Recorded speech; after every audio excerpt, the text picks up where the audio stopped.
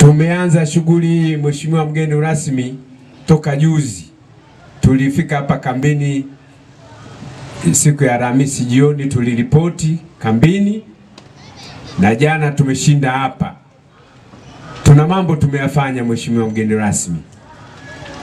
Tulialika vyombo mbalimbali ili kuweza kuwapa vijana mafunzo mbalimbali, na siku ya leo utashuhudia mambo makubwa yatafanyika hapa.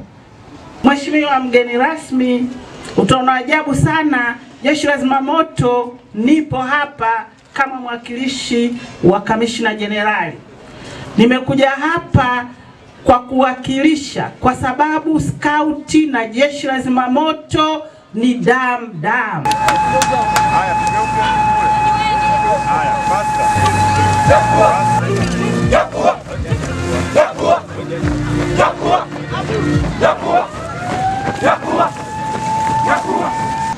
Square dash kwa ajili ya kuweka kiti chetu imara ili kwenda huku na huku. Chama chetu kimeongeza wanachama toka 1220 mwaka 2018 hadi kufikia wanachama 1680 kwa mwaka 2022.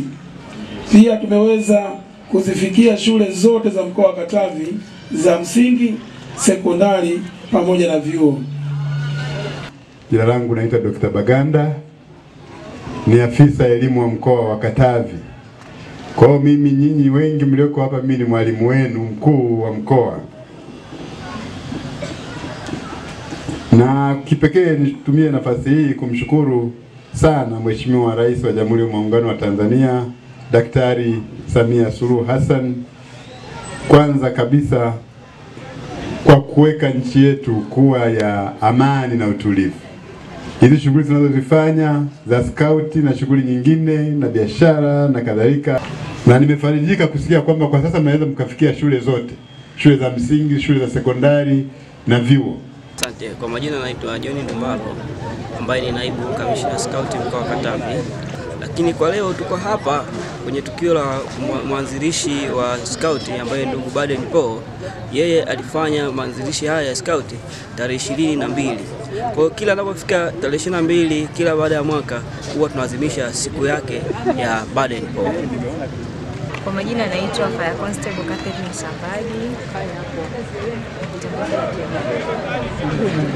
afisa habari msaidizi wa jeshi la zimamoto na uokoaji mpaka Katavi.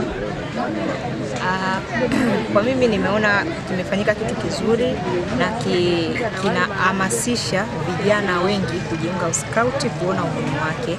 Kwanza kinawatengenezea wao wenyewe kujiamini, lakini pia kinawatengenezea ukakamavu. In case ikatokea shida yoyote, wanakuwa wako tayari kwa kitu chochote. Kitu kingine kinawapunguzia vijana kujiunga kwenye makundi hatari.